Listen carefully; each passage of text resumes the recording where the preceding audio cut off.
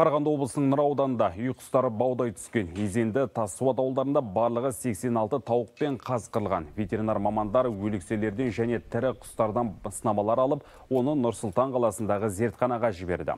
Апта соңына дейін қорытындысы шығады. Құстардың неден қырылғаны жөндегі ақпарат қосымша хабарланады дейді мамандар.